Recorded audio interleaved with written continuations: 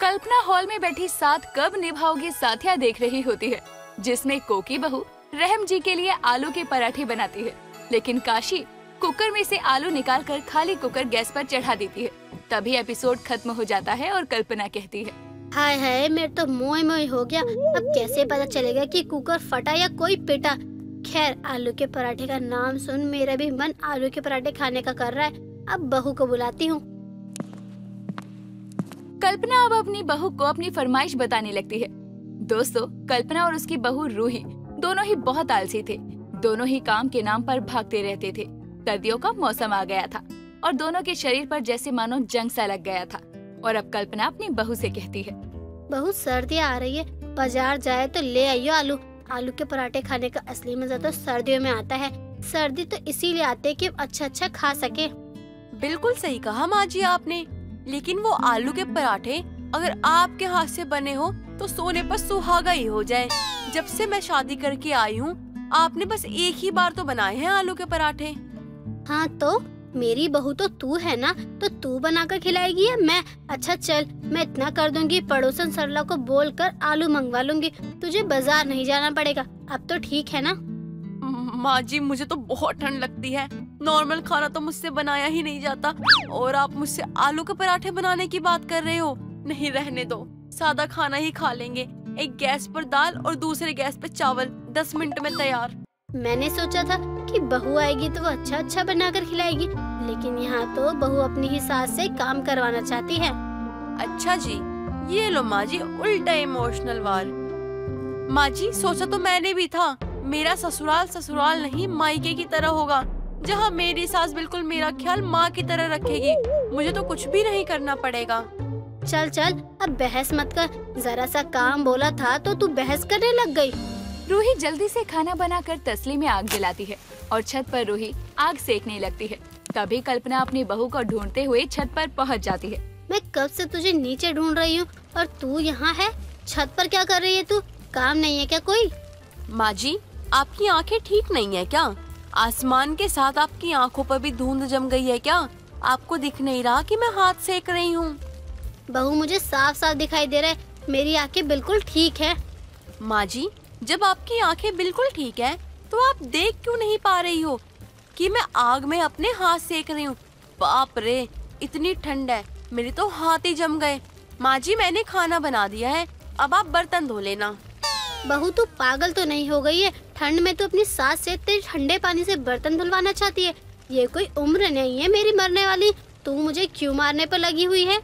माँ जी मैंने तो पहले ही बहुत काम कर लिया है। आज पूरे दिन आपने कुछ नहीं किया है। इतना तो कर ही सकती हो ना? मैं नहीं धो सकती बर्तन। मुझे बहुत ठंड लग रही है। हाँ तो मैं भी नहीं धो सकती। ठंड बस तुझे ही नहीं मुझे भी लगती है। कल्पना भी बर्तन धोने से मना कर देती है।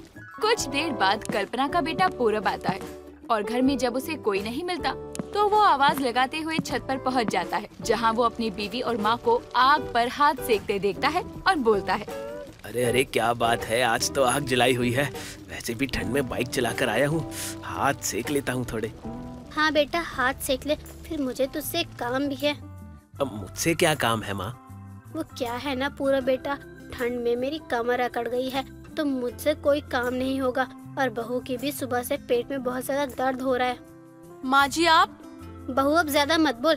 तुझे ठंड लग गई है। चुपचाप से आग सेक और ठीक लग रहा है तो बर्तन साफ़ कर। आ माँ जी बड़ा दर्द है पेट में। हाय राम। तो पूरब मैं ये कह रही थी खाना तो बन गया है बस बर्तन नहीं धुले तो तू बर्तन धो दियो। मैं बर्तन धो दूँगा लेकिन मेरे आने तक आग न बुझ जाए। वैसे ही हाथ ठंडे हो गए हैं। अब ठंडे पानी से बर्तन धोने हैं और ठंडे हो जाएँगे फिर से। आप आग जलाकर ही रखना। मैं बर्तन धोकर अभी आया। कल्पना और रोहित दोनों मिलकर अब पूरब से काम करवा लेते हैं। कुछ दिनों के बाद कल्पना की दूर की बहन रेखा अपने बेटे मयंक के साथ आती है। और कल्पना दीदी कैसी हो? तबीयत तो ठीक रहती है ना आपकी? मैं तो बिल्कुल ठीक हूँ लेकिन अचानक से यहाँ कैसे आना हो गया? मेरे पास तो नंबर भी नहीं है तुम्हारा। मांगा था किसी से लेकिन उसने दिया ही नहीं इसलिए बात भी नहीं हो पाती मेरी। अरे कोई बात नहीं दीदी अब तो मैं खुद ही आ गई हूँ ना। अब कर लेना बात। वो क्या है ना कि मेरे बेटे की पढ़ाई खत्म हो गई है तो मैंने सोचा क्यों ना अब हम माँ बेटे यहाँ आ जाएँ। मेरा घर कैसे पता चला तुम्हें? तुम तो पहले तो कभी आई नहीं। घर पता करना कौन सी बड़ी बात है? तुम्हारी माँ और मेरी ताई जी से पूछा मैंने तो उन्होंने बता दिया। और देखो मैं यहाँ आ गई आपसे मिलने। चलो ये तो बहुत अच्छी बात है। कल्पना तुरंत अपनी बहू के कमरे में जाती है। बहू घर पर मेहमान आए हैं। जा जाकर उनके लिए चाय बना दे। क्या? सर्दियों में भी इन लोगों को हमारे ही घर आना था क्या? माँ जी मैं नहीं बना रही कुछ। अपने मेहमानों को आप खुद ही बना के खिला लीजिएगा। मैं क्यों इतनी सर्दी में परेशान हूँ बहू ऐसे थोड़ी अच्छा लगता है। बाहर मेहमान बैठे हैं और तू चाय बनाने से मना कर दे। ठंड तो सबके लिए ही बराबर है ना। चल बहू इतना भी मुँह मत बना। माँ जी आपको पता है ना हम दोनों सर्दियों में महा आलसी हो जाते हैं। घर के काम तो हमसे होते नहीं है। और आप सर्दियों में घर आए मेहमान की खातिरदारी की बात कर रहे हो? नहीं माँ जी मुझसे नहीं हो पाएगा। होगा तो मुझसे भी नहीं। लेकिन इज़्ज़त की बात भी तो है ना बहू। अब तो खुद बता हम किसी के घर जाए और हमें कोई चाय पानी भी ना पूछे तो हमें कैसा लगेगा? माँ जी आप तो झूठ बोलने में एक्सपर्ट हो ना? तो यहाँ भी कुछ बहाना बना दो। कह दो राशन खत्म है या गैस या कोई और बहाना। कल्पना के बोलने पर भी रूही कुछ नहीं करती और दोनों सास बहू बाहर जाकर सबके साथ बैठ जाती है। तभी कल्पना सबसे कहती है। पता है जब हम छोटे थे ना तो रेखा ही सबसे अच्छी चाय बनाती थी। क्या? मौसी जी आप चाय अच्छी बनाते हो? हाँ बना लेती हूँ लेकिन इतनी भी कोई खास नहीं बहू। क्या रेखा? क्यों इतना झूठ बोल रही है? बहू तो जानती नहीं है रेखा को। अरे हर चीज़ बहुत अच्छी बनाती है। मुझे तो पुराने दिनों की याद आ गई। वो चाय आए हाय सोच कर ही अच्छा लग रहा है। माँ जी जब सोच कर ही इतनी खुशी हो रही है तो सोचो जब मौसी जी चाय बना कर लाएगी तब कितनी खुशी होगी। वाह वाह वाह वाह। मौसी जी अब तो मेरा भी मन कर रहा है आपके हाथ की चाय पीने का। अब जाओ आप हमारे लिए चाय बना दो। हमें भी आपकी हाथ की चाय पीनी है। कल्पना और रूही दोनों मिलकर रेखा को ही फोर्स करते हैं कि वो चाय बनाए। और रेखा के चाय बनाने के बाद रेखा से ही खाना भी बनवाते हैं। बहुत अच्छा खाना बनाया था रेखा ने। रेखा इतने दिनों बाद आई है यहाँ, अब मैं इतनी जल्दी नहीं जाने दूँगी तुझे। इस बार की सर्दी तुझे हमारे साथ ही बितानी होगी। कल्पना और रोहित दोनों ही बहुत ज़्यादा आलसी थे, और उन दोनों के लिए तो रेखा मानो किसी चमत्कार से कम नहीं थी। अब दोनों सास बहू बहुत आराम से बेड पर सोते रहते और सारा काम रेखा करती। कुछ दिनों के बाद सब लोग साथ में बैठकर बातें कर रहे थे, और कब साथ निभाओगे साथिया फिर से देख रहे थे, कि तभी कोकी रहम के लिए आलू के पराठे बनाती है और वो रहम को बहुत पसंद आते हैं। और एपिसोड खत्म होता है तो कल्पना कहती है। इस सर्दी में गरम गरम आलू के पराठे खाने का मन कर रहा है। रेखा वो तो आलू के पराठे कुछ अलग बनाती थी ना। आज वही वाले आलू के पराठे बना दियो। लेकिन दीदी उसके लिए लाल वाले आलू चाहिए होते हैं ना। हाँ तो इसमें कौन सी बड़ी बात है? मयंक है ना ये ले आएगा बाज़ार से आलू। मैं सोच रही थी, आज हम चले जाते हैं अपने घर। इतने दिन हो गए हैं आए हुए। अब हमें जाना चाहिए। कब तक हम यहीं रुके रहेंगे? बिल्कुल नहीं, मौसी जी। आप तो जाने की सोचना भी मत। अरे, मेरा मतलब है, आपके आने के बाद ही तो घर घर लगने लगा है। और आप भी जाने की बात करोगी तो कैसे चलेगा? कुछ दिन और रुक जाओ। रूही और कल्पना अब रेखा और उसके बेटे से ही काम करवा रहे थे। मयंक बाज़ार से आलू लाता है और रसोई में अपनी माँ को देने जाता है। माँ आपने तो कहा था कि मेहमान बनकर जाएँगे तो बिस्तर पे खाना मिलेगा सारी फैसिलिटी मिलेगी। सर्दी अच्छे से कट जाएगी लेकिन यहाँ तो उल्टा हो रहा है। यहाँ तो हमें ही काम करना पड़ रहा है और ऊपर से सर्दियों में सारा काम हमसे ही करवा रहे हैं लोग। वही तो ये तो मैंने भी नहीं सोचा था। एक काम करते हैं आज ही निकल जाते हैं। मैं कोई बहाना बना दूँगी और फ़ोन करके बोल दूँगी कि हम चले गए हैं। रेखा और मयंक चुपचाप वहाँ से चले जाते हैं। सर्दियों में घर आए मेहमान से रूही और कल्पना को बहुत फ़ायदा तो होता था लेकिन अब रूही और कल्पना में काम को लेकर फिर से महायुद्ध शुरू हो जाता है जिसमें पूरब भी पिसता है। निम्मी एक बहुत ही सुंदर लड़की थी पर वो बहुत ही नकचड़ी भी थी। छोटी छोटी बात पर मुँह बनाना उसकी पुरानी आदत थी। साथ ही उसमें एक और कमी थी और वो ये कि उसकी नाक सीधी ना होकर जरा टेढ़ी थी जिसके चलते अक्सर ही लोग उसका मज़ाक बनाया करते। एक दिन नाश्ते के समय निम्मी की माँ किरण उसे आवाज़ देती है। निम्मी बेटा आजा नाश्ता कर ले कॉलेज नहीं जाना क्या तुझे? जाना है माँ आ रही हूँ। हम्म आजा जल्दी कर ले नाश्ता। हम्म क्या बनाया है? बेटा घिया की सब्ज़ी और पराठे हैं बाकी ये आम का अचार भी है। हम्म घिया? माँ, घिया कौन खाता है? पहली बात तो ये कि तू अपनी नाक मत मरोड़ा कर। पहले ही टेढ़ी है, ऐसा करती है तो और ज़्यादा टेढ़ी लगती है। माँ, अब इनमें मेरा क्या कसूर है? अगर मेरी नाक टेढ़ी है तो? मैंने तो भगवान से नहीं कहा था कि, हे भगवान, जब मैं पैदा हूँ तो मेरी नाक टेढ़ी कर देना। हम्म चल चल, ज़्यादा बातें मत कर, नाश्ता कर और कॉलेज जा। अपनी माँ की बात सुनकर निमी जल्दी से नाश्ता करती है और फिर अपने कॉलेज के लिए घर से निकलती है और कुछ ही देर में कॉलेज जाती है। जहाँ उसे उसकी दोस्त रामिया मिलती है। रामिया निमी को देखकर कहती है। ओए कहाँ जा रही थी तू? लेट क्यों हो गई आज भी? कुछ नहीं यार बाहर वाले तो थे ही। मेरी सगी माँ भी टेढ़ी मेढ़ी नाक का मज़ाक बनाने में लगी है। हाँ यार वैसे तेरी नाक एकदम अलग है हम सबसे देख हम सबकी नाक कैसी है सीधी सी पर तेरी कैसी है अलग सी टेढ़ी सी। हो गया तेरा? या कोई और टुकड़ी देनी है तुझे मेरी नाक पर जिसे देखो बस अपने अपने विचार देता है इस पर? अरे गुस्सा मत हो मज़ाक कर रही थी यार। जैसी तू है मस्त है। हम्म बस बस अब झूठी हमदर्दी मत दे मुझे समझ गई। क्या यार निम्मी जरा सा कुछ कह दो तो तू चिढ़ जाती है। मुझे ना ये फालतू के मज़ाक अच्छे नहीं लगते हैं खास तौर पर मेरी नाक पर कोई मज़ाक उड़ाए तो। इतना कहकर निमी गुस्से में आगे आगे चलने लगती है और रामिया उसे मनाने उसके पीछे चलकर उसे आवाज़ देती है।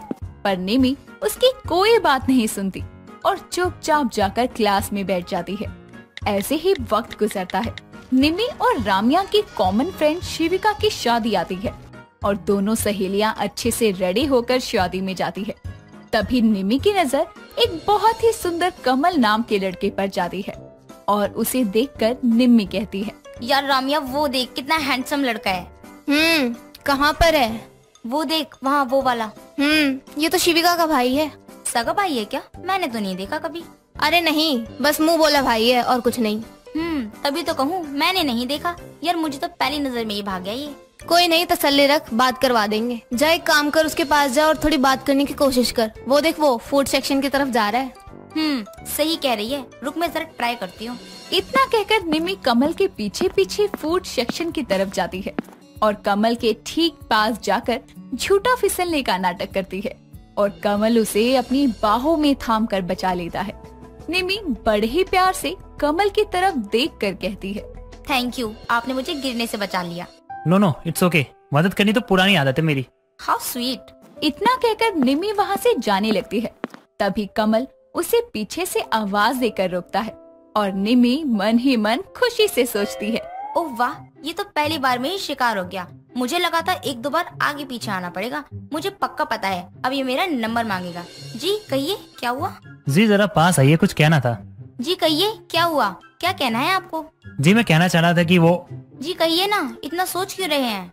जी मैं कह रहा था कि आपकी नाक टेढ़ी है। मैंने आज तक ऐसी टेढ़ी नाक वाली लड़की नहीं देखी। क्या मैं एक बार आपकी नाक को छू सकता हूँ? कहीं माइकल जैक्सन की तरह आप भी नकली नाक लगा के तो नहीं घूम रही? क्या बकवास कर रहे हो? मेरी असली नाक है और मेरी नाक की बनावटी ही टेढ़ी है। वाह यार मज़ा आ गया। सात अजूबों के बाद आठवां अजूबा देख रहा हूँ मैं। शादी में आना सफल हो गया मेरा तो। कर लिया आपने अपनी बेतु की बातें? या और कुछ कहना है? अरे कहना तो यही था बस। अब और क्या कहूँ? पर एक बात है आप इस टेढ़ी नाक के साथ भी बहुत खूबसूरत लग रही हो। चेहरा आपका कुछ अलग ही है। हद है यार। इसे मैं तारीफ़ समझू या इंसल्ट जी जो आपका दिल करे। मुझे तो वही कहना होता है जो मेरे दिल में होता है। यही मेरी आदत है। कमल की बात पर बुरा सा मुँह बनाकर निमी वापस रामिया के पास जाती है और रामिया उससे बोलती है क्या हुआ? नंबर मिला? चल यार मुझे नहीं रहना यहाँ एक मिनट भी। और वो भी सब जैसा है। उसे भी मेरी नाक ही देखी। और हर किसी की तरह उसने भी मेरी नाक का ही मज़ाक बनाया। इतना कहकर निमी गुस्से में शिविका की शादी की पार्टी छोड़कर वहाँ से वापस अपने घर आती है। वक्त गुजरता है। एक शाम जब निमी बाज़ार से घर आ रही थी तभी एक स्कूटी वाला लड़का उसे टक्कर मार देता है और निमी रोड पर गिर जाती है। और वो लड़का कोई और नहीं बल्कि कमल था। कमल जल्दी से निमी के पास आकर कहता है अरे टेढ़ी नाक वाली मैडम आप? तुम क्यों छेड़ रहे हो? नाक तो मुझे भगवान ने टेढ़ी दिया है। तुम क्यों मेरी टंग टेढ़ी करने में लगे हो? अरे यार मैंने जानबूझकर थोड़ी ना किया है। तुम पता नहीं कहाँ से मेरी स्कूटी के आगे आ गई। आसमान से आगे। यार रोड क्रॉस कर रही थी। तुम तो स्कूटी को हवाई जहाज़ समझकर चला रहे हो। ओके बाबा सॉरी। आओ डॉक्टर के पास ले चलता हूँ। देखो थोड़ी चोट लगी है तुम्हें। इतना कहकर कमल निमी को अपनी बाहों में उठाता है और उसे स्कूटी पर बैठा लेता है। और फिर कमल निमी को डॉक्टर के पास तक लेकर जाता है। और उसकी चोट पर पट्टी करवाता है। इसी बीच दोनों में दोस्ती होती है और बातों बातों में नंबर एक्सचेंज भी होते हैं। कुछ देर बाद कमल निमी को उसके घर छोड़ता है। ऐसे ही दोनों की बातें और मुलाकातें शुरू होती है। एक शाम कमल निमी को मिलने बुलाता है। निमी जल्दी से रेडी होकर कमल की बताई जगह पर आती है। कमल उसे देखकर बस देखता रह जाता है। साथ ही वो निमी का हाथ अपने हाथों में थाम कर कहता है। निमी देखो मैं जानता हूँ मैंने जाने अनजाने में कई बार तुम्हारी नाक का मज़ाक बनाया है लेकिन सच कहता हूँ तुम जैसी भी हो बहुत खूबसूरत हो। मुझे तुम्हारे साथ रहना तुम्हारे साथ बातें करना बहुत अच्छा लगता है। अगर तुम्हें कभी मेरी किसी भी बात से हर्ट हुआ है तो मैं उसके लिए सॉरी बोलता हूँ। अगर बात तेरी नाक का मज़ाक बनाने की है तो तुम पहले नहीं हो जिसने ये किया है। मुझे हर दिन ना जाने कितने लोगों की बातें सुननी पड़ती हैं। पर अब नहीं सुनी होगी। मैंने तुम्हारी नाक को ठीक करने का ज़रिया तलाश लिया है। हम कल ही डॉक्टर के पास जाएँगे और तुम्हारी नाक की बड़ी हुई जो हड्डी है उसे ठीक करवाएँगे जिस वजह से तुम्हारी नाक टेढ़ी लगती है। और तुम पहले नहीं हो जिसकी नाक ऐसी है। मैंने काफ़ी सर्च किया है कि काफ़ी लोग ऐसे प्रॉब्लम से जूझते हैं। ओ कमल तुम कितने अच्छे हो सच में। मुझे लगा जो तुमने मेरे बारे में इतना अच्छा सोचा। कमल की ये बात सुनकर निमी की आँखें नम हो जाती है और उसे ये एहसास होता है कि उसे सच में कमल के रूप में एक सच्चा जीवन साथी मिला है। और जिसके बाद वो प्यार से कमल को ज़ोर से गले लगा लेती है और आँखों से आँसू बहाने लगती है। और अगले दिन कमल उसे बहुत बड़े और अच्छे डॉक्टर के पास लेकर जाता है। डॉक्टर निमिक के नाक का टेस्ट करते हैं और एक्सरे करते हैं, जिसके बाद वो ऑपरेशन की डेट दे देते हैं। कुछ टाइम बाद निमी और कमल एक दूसरे को डेट करते हैं और ऑपरेशन का दिन आता है और निमी की आँख का ऑपरेशन हो जाता है। और ऑपरेशन के बाद जब उसकी नाक की पट्टी खुलती है तो निमी की नाक एकदम सीधी थी और जिसे देखकर कमल भी और निमी भी बहुत खुश होते हैं। जिसके बाद निमी कहीं भी जाती तो कोई उसके नाक का मज़ाक नहीं बनाता। जिसके बाद निमी और कमल अपने अपने प्यार का इजहार अपने घर वालों के सामने करते हैं और निमी की खूबसूरती और कमल की समझदारी देखकर दोनों घर वाले शादी के लिए हाँ भर देते हैं। जिसके बाद उनकी शादी का दिन आता है और निमी और कमल की बड़ी धूमधाम से शादी होती है। शादी के बाद कोई निमी को टेढ़ी नाक वाली कहकर नहीं चढ़ाता और वो दोनों अपनी ज़िंदगी खुशहाल नुमा तरीके से गुजारते हैं। सुमित्रा देवी सोफे पर बैठी हुई अपनी बहू जागृति से कहती है बहू अरे खाना कब तक बनेगा? बिरबल की खिचड़ी बना रही है क्या? माँ जी आपको ना बैठे बैठे प्रवचन ही देना आता है। अपनी इन बुढ़ी हड्डियों को थोड़ी तकलीफ़ दे लिया करो वरना पड़े पड़े जंग खा जाएँगी। अरे तू अपनी माँ की हड्डियों के बारे में सोच मेरे बारे में नहीं। तभी जागृति का पति अरहान ऑफ़िस से घर आ जाता है और बहुत ही खुशी और उत्साह के साथ बोलता है माँ आज मैं बहुत खुश हूँ। क्यों जी? ऐसा भी क्या हो गया?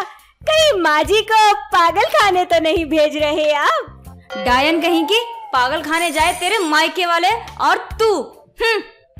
अरे क्या चुप रहोगी तुम दोनों? सारा दिन बस लगती ही रहती हो और कोई काम नहीं है क्या आप लोगों के पास? बहुत सारे हैं। हम्म। खैर छोड़ो खुशी की बात यह है कि मेरी कंपनी ने मेरी अच्छी परफॉर्मेंस को देखते हुए मुझे कार गिफ्ट करी है। कार मिली है। कोई तोप नहीं। और हाँ आपको तो चलानी तक नहीं आती। पता चला निकले थे ऑफ़िस के लिए और पहुँच गए हॉस्पिटल के बेड पर। अरे रे अरे कैसी कुलक्षणी जैसी बातें करती है तू। हॉस्पिटल जाए तेरा भाई समझी? अरे माँ जी आप तो चुप ही रहो। भला आपका हर बात में बोलना बहुत ज़रूरी है क्या? जब देखो मेरे मायके वालों को ही कोसती रहती हो अपनों को कोस लो ना। अपनी जवान संभाल कर बात कर कलमुही हाय मैं अकेली नन्ही सी जान क्या क्या संभालू? अपनी इस पागल सास को या उसके लल्लू बेटे को? क्या बोला तुमने? मैं लल्लू हूँ। और क्या? लल्लू ही तो हो। कुछ आता तो है नहीं तुम्हें। जब देखो नन्ना नन्ना नन्ना बस यही सब करते रहते हो। बड़े तो हो गए लेकिन अभी भी माँ के पल्लू से ही बंधे हो। क्या री? तुझे जलन हो रही है क्या? हम माँ बेटे का प्यार देखकर। नहीं नहीं मुझे कोई जलन नहीं है तुम माँ बेटों से। मुझे तो बस तरस आता है कि मेरी शादी एक लल्ले से हो गई छोटे से। दोनों सास बहू में आए दिन ऐसे ही नोक झोंक होती रहती थी। एक रात जब जागृति टीवी देख रही होती है तभी वहाँ उसकी सास आती है और उसके हाथ से टीवी का रिमोट छीनते हुए बोलती है क्यों री? खाना तेरा बाप बनाएगा क्या आकर? माँ जी आपकी दिक्कत क्या है? मुझे ये बता दो आज आप। अरे कुछ भी बोलना हो कहना हो तो मुझे कहो ना। मैं खड़ी हूँ ना आपके सामने। जब देखो कभी मेरी माँ को बोलती हो कभी मेरे भाई को बोलती हो कभी मेरे पापा को बोलती हो। अरे कोसने का ठेका लिया है क्या आपने? अरे जा यहाँ से। मुझे अपना फेवरेट सीरियल देखना है। मैं नहीं जाऊँगी कहीं भी। पहले यहाँ मैं आई थी। मैंने मूवी देखनी शुरू करी थी। और जब तक मेरी मूवी खत्म नहीं हो जाती ना मैं टस से मस नहीं होंगी यहाँ। दोनों रिमोट को लेकर एक दूसरे के साथ छीना झपटी करने लगती है और करते करते रिमोट ज़ोर से टीवी पर जा लगता है, जिससे टीवी टूट जाता है। तभी सुमित्रा देवी अपनी बहू से बोलती है, हाय राम, अरे भैंसिया कहीं की खा खा कर सांड होती जा रही है। अरे टीवी तोड़ दिया तूने मेरा। इन्हीं हाथों से रिमोट छीना था ना तूने? आज जैसे टीवी तोड़ा है तूने वैसे ही तेरा हाथ तोड़ दूँगी। अम्मा जी टीवी मैंने अकेले नहीं तोड़ा आप भी शामिल थे इसमें। और आप ऐसे नहीं मानोगी ना? रुको अभी बताती हूँ मैं आपको। अब बोलो बोलो थी मेरी गलती सारी? बोलो। अरे मोरी मैया अरे हाथ छोड़ भैंसिया शर्म नहीं आ रही क्या? अपनी बूढ़ी सास पर अत्याचार करते हुए। कुछ दिन यूँ ही बीत जाते हैं और एक दिन सुमित्रा देवी बाज़ार से सब्ज़ी लाकर अपने घर के दरवाजे के बाहर खड़ी होकर पंद्रह मिनट से डोरबेल बजा रही होती है। लेकिन उसकी बहू अंदर फ़ोन में हेडफोन लगाए झाड़ू लगा रही होती है, जिससे उसको डोर बेल सुनाई नहीं देती और बाहर खड़े खड़े सुमित्रा देवी का गुस्सा सातवें आसमान पर पहुँच जाता है।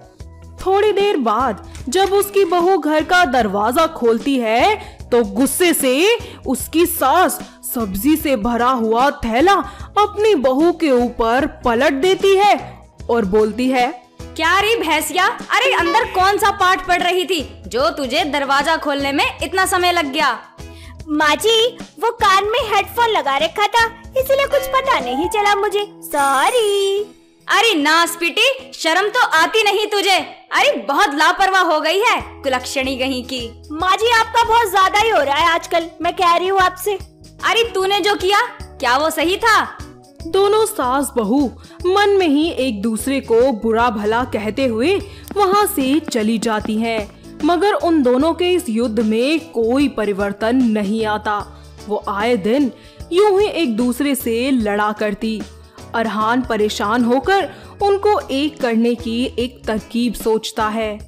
एक दिन दोनों सास बहू एक दूसरे से नाराज़ होकर अपने अपने कमरे में बैठी होती हैं। तभी उनके पड़ोस वाली नेहा आंटी एक थैला लिए उनके पास आती है और वो पहले जागृति के कमरे में जाती है और उससे बोलती है, जागृति पुत्र, की कर रही है? कुछ नहीं, आंटी जी। आइए ना, बैठिए। आ देख मैं तेरे लिए की लेके आई हार वाओ कितना सुंदर हार है पर आंटी जी आप ये हार मुझे क्यों दे रहे हो ओ नेहा पुत्र ये हार ना तेरी सास ने भिजवाया है तेरे वास्ते कहंदी सी कि मेरी बहू ता मेरा हदों ਵੱਧ ਖਿਆਲ ਰੱਖਦੀ ਹੈ ਨਾਲੇ ਕਰਦੀਆਂ ਸਾਰੀਆਂ ਜ਼ਿੰਮੇਵਾਰੀਆਂ ਬੜੇ ਧਿਆਨ ਨਾਲ ਸੰਭਾਲਦੀ ਹੈ ਤਾਂ ਉਸ ਤੋਹਫਾ ਉਹ ਆਪ ਦੇ ਇੰਜ ਸ਼ਰਮਾ ਰਹੀ ਸੀ ਇਸ ਲਈ ਉਹਨਾਂ ਨੇ ਮੈਨੂੰ ਭੇਜ ਦਿੱਤਾ ਨਾਲੇ ਕਿਹਾ ਕਿ ਮੇਰੀ ਬਹੂ ਨੂੰ ਇਹ ਸਭ ਵੀ ਬੋਲਦੀ ਚੰਗਾ ਹੁਣ ਮੈਂ ਚਲਦੀ ਆ जागृति को हार देने के बाद नेहा आंटी अब उसकी सास के कमरे में जाती है और उससे बोलती है अरे सुमित्रा आ वेख तेरी बहू ने तेरे वास्ते किन्ना सोना हार भेजा है ਕਹਿ ਰਹੀ ਸੀ ਕਿ ਮੇਰੀ ਮਾਂ ਜੀ ਤਾਂ ਮੈਨੂੰ ਇੰਨਾ ਪਿਆਰ ਕਰਦੀ ਹੈ ਨਾ ਕਿ ਮੇਰੀ ਸਗੀ ਮਾਂ ਦੇ ਨਾਲੋਂ ਵੱਧ ਕੇ ਕਰਦੀ ਹੈ ਮੇਰਾ ਹਮੇਸ਼ਾ।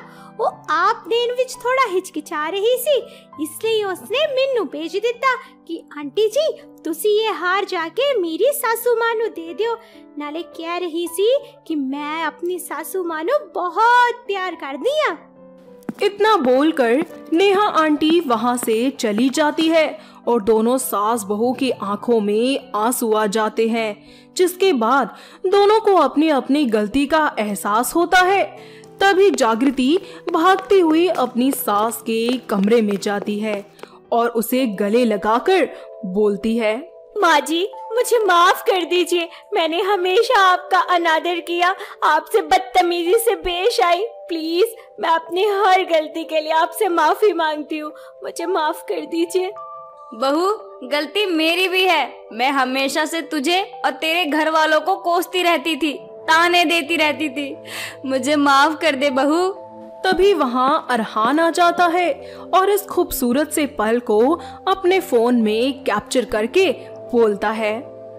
तो आखिरकार मेरा प्लान काम कर ही गया।